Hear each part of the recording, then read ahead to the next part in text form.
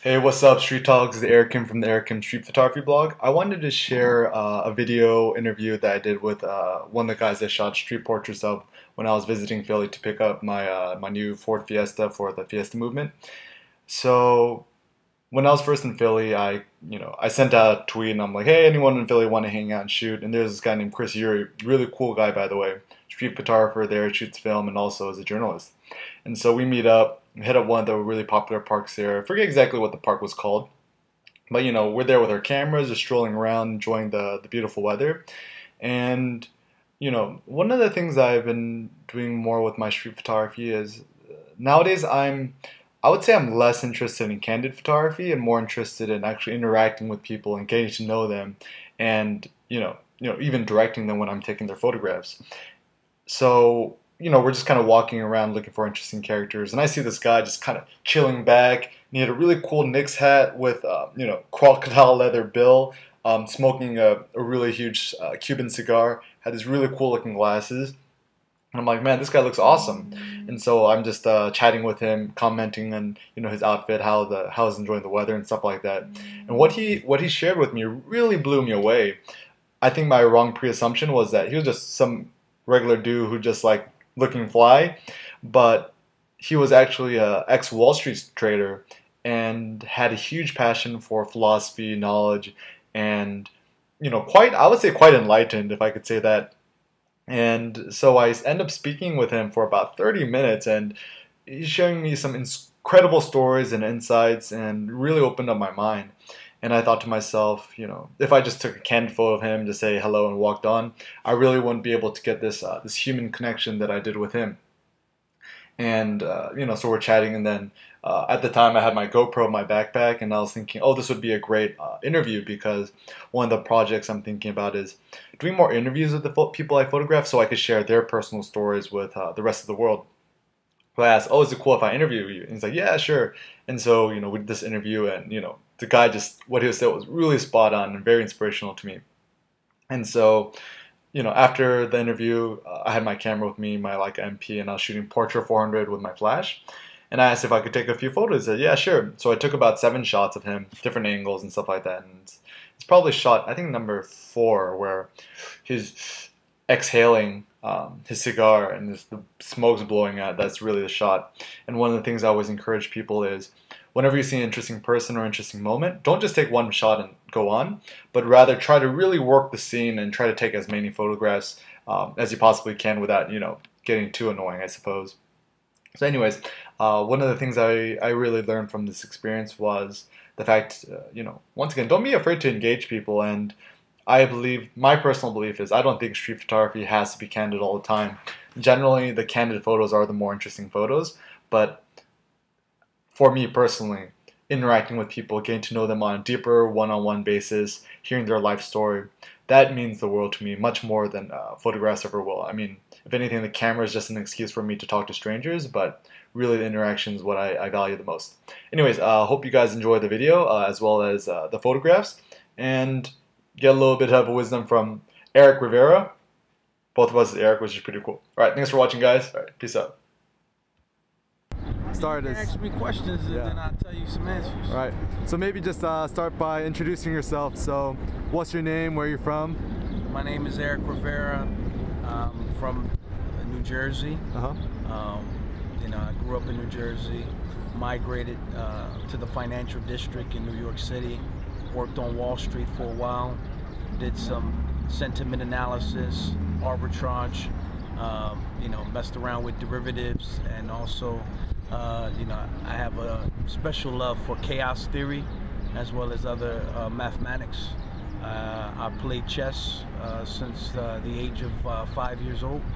I speak Hebrew, I speak Spanish in three different dialects and English as well um, learning Mandarin as we speak. And um, I love I love beautiful women and yeah. and I enjoy um, making money. So uh, tell us a little bit more about your joy of making money. Well, the joy the joy of making money comes from uh, the freedom. It comes from actually uh, you know getting yourself into a place where you're self-sufficient and you're independent. Uh, not independent just in a sense of of the word or the phrase, but you're independent in the sense where you don't have to worry about making your supervisor happy or or dealing with corporate policies and structures that uh, you know aren't uh, like-minded with uh, what your actual personal morality and your personal uh, thought processes.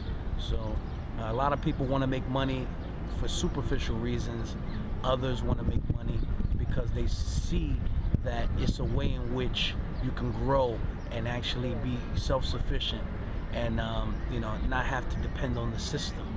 Um, me personally, uh, my thought process now, as opposed to when I was a younger man, is to literally uh, invest half of what I make and then reinvest a hundred percent of the profits so that I can uh, have compounded growth.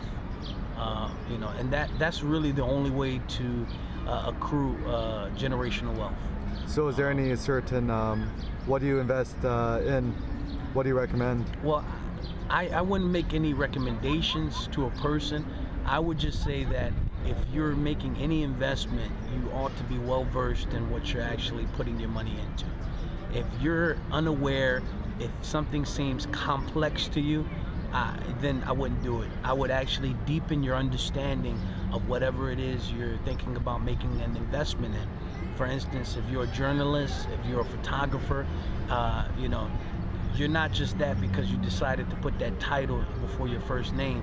You're that because you took the hours and the weeks and the days and the years and you invested your your irrevocable time, time that you couldn't get back. And uh, and that time that you, you actually indulged and, and made that investment into that craft or that industry, it can't be given back to you. So it's part of that time period that you spent that you invested. And what you what you got out of that necessarily wasn't money right away but it was uh, experience. It was wisdom. It was the knowledge of the details of definitive uh, things that you actually learned uh, and the processes that you actually came up with during that uh, time that you spent that caused you to now become a photographer or a journalist uh, for that um, so I would tell anybody if you're going to make an investment, make an investment in something that you understand, something that you're actually well versed in, something that you actually have wrapped your mind around and wrapped your heart around. You can't literally, the word desire, passion, emotions, and motives. Emotion and motives, all of those words come from a word, a Latin word called movere. That's M O V E R E. The word movere, if you look it up when you get home, it means to move. That if you have a passion for something, it ought to move you in that direction. It ought to catapult you in that in that in that way. You know, you can't actually be successful at something that you have no passion for. You know, uh, you know unless you're hitting the lottery, which the probability of that is slim to none. Uh, so uh, the gambler, for instance, is is fooled when they go to the casino they have a misinterpretation or a misunderstanding of the probability of them actually winning. So they associate uh, their their their potential winning based on seeing someone else win, which uh, they basically fooled by randomness. Oh, Nassim Taleb. Nassim Taleb is a is a is a is a good good uh, good. You know, you, you actually shocked me by even knowing who Nassim Taleb is. Yeah. But Nassim Taleb, I've, I've sat in maybe 15 lectures of Nassim Taleb. Uh, I met him several times. Uh, I'm a big fan of his writings uh, as well as his thought process. Uh, he is one of my favorites uh, with reference to uh, the way he looks at the economy and things like that. Um, but like I was saying, with reference to desire, your desire, you become what your thoughts are. So what dominates your mind is what you ultimately become. and if, you know, if you want to be successful, you, you have to work at it. And in working at it, I mean actually spending time investing positive thoughts and thoughts that are actually going to propel you and build you and make you grow as a human being so that you can make an actual deposit into humanity uh, of something great. Uh, I really believe this. I really truly, uh, you know, I believe that you're wealthy uh, when you actually think wealthy. You know, not it doesn't come with a, a certain net worth uh, it has a lot to do with your thought process. And if you, you have a poor mindset, if you have a poor thought process, then you will always be poor. Uh, I want to actually share a story with you. Mm. Um, and obviously, this is unrehearsed. Uh, this is totally from my experience, my life, my thoughts. And what I, I was in Cape Town. I went to Johannesburg and then I went to Cape Town in, uh, in Africa. And when I went there, uh, as we were there on our third day of the visit, we met a girl. Uh, her name is Evidence. Uh, this girl, when, when they told me her name, Evidence, I didn't really understand the significance of it until we learned her story. Her mother had, had died giving birth to her. Uh, her father had died before that, and her entire family was gone. Uh, her caretaker named their evidence so that when people asked her where did her name come from, they would basically know that she was the evidence of her entire lineage, her family tree. She actually gave me this bracelet that I wear. Um, you know, nothing really, uh, you know, it's not like it's a Vacheron Constantin uh, Grand Complication or, you know, any type of, uh, you know, special uh, watch. But it is, in fact, a reminder of, uh, of, a, of a woman that I met at the at that time she was 14 years old. Um, you know, it was around 2004. Um, but I got an email from the actual tour guide that was with us from Evidence. She actually graduated from uh, an illustrious uh, university in England. I believe it was Cambridge. I'm not sure 100%. Um, but she graduated with a master's degree wow. um, in, in psychology. And to see someone come from such a poor village where uh, she had food insecurity, she didn't really know when she was going to get any water or anything to eat. Uh, really didn't have a support system, didn't have any contacts, didn't have any resources. She simply had desire, something that you can't recruit, something that you can't see, something that you can't even disclose to another person. And her desire to actually want to achieve success and to want to better her and, and enhance her quality of life caused her to actually go from a village where she was actually predicted to die hmm. by the age of 12 My to God. actually graduating from an illustrious uh, you know university um, is she successful compared to where she's from she's a billionaire Hmm. And uh, I, and if I've given you anything in this interview, hmm. I've given you evidence. Hmm. Evidence that you can do whatever it is that your heart desires, that there's no limitations to what you can accomplish. There's no limitations on what you can do. And, and, and you have a sense of purpose. Every person has a purpose attached to them. I enjoy making money, but that's just a byproduct of who I am there, there's so much more to an individual, to a human being uh, that meets the eye or even meets the title of your career or the industry that you work in. You have a lot to give, and I believe that the more you give, for instance, right now I'm giving you 10 to 15 minutes of my time, mm. and you're giving me 10 to 15 minutes of, of your time.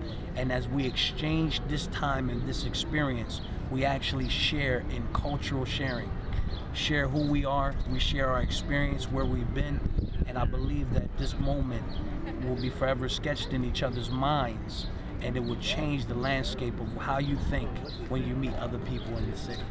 Mm. Uh, my name is Eric Rivera and Eric Kim. yes. It was uh, good meeting you as well as your friend here. What is his name? Chris. Chris. Chris. Chris. It was great meeting you as well. Yep. And uh, it was an enjoyable time. Yeah. Hopefully you can put this together and yeah. actually uh, show it to me. Maybe even Chris can write yeah. it, write it up as uh, as a story. And, yeah. Uh, what what what new what magazine newspaper? The Philadelphia Inquirer. I think it would make a, a perfect story. Maybe the best way to end it is just take a nice puff of that Cuban right there. Yeah.